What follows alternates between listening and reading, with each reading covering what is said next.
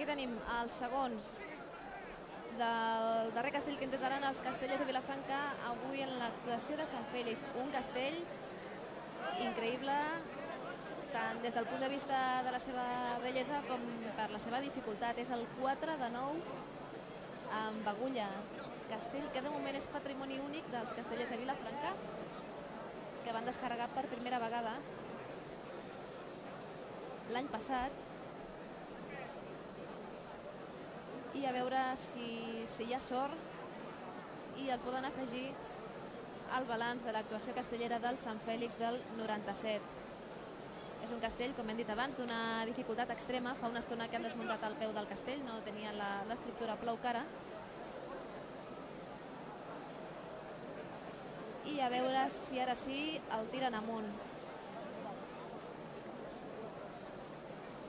Jordi, parlant de les dificultats d'aquest castell, les té en tots, els, en tots els aspectes, no?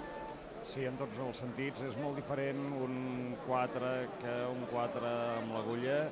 Eh, S'ha d'agafar completament diferent i és una dificultat màxima. És eh, el castell de màxima dificultat també que s'intenta a la plaça.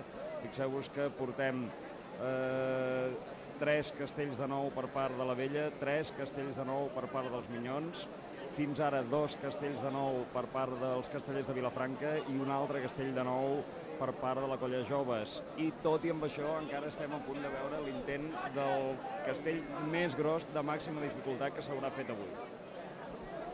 És un castell d'una evolució molt llarga. S'ha de carregar, descarregar el 4 de 9 en folre i a l'interior es va formant el pilar de 7 i el castell, recordem-ho, es dona per carregat quan es deixen anar de braços als terços de l'estructura del 4. Castell que es va carregar per primera vegada in extremis, la primera vegada. I a veure com funciona l'intent d'avui Sant Fèlix d'aquest castell. Ja veiem el, el terç del pilar de 7 col·locat.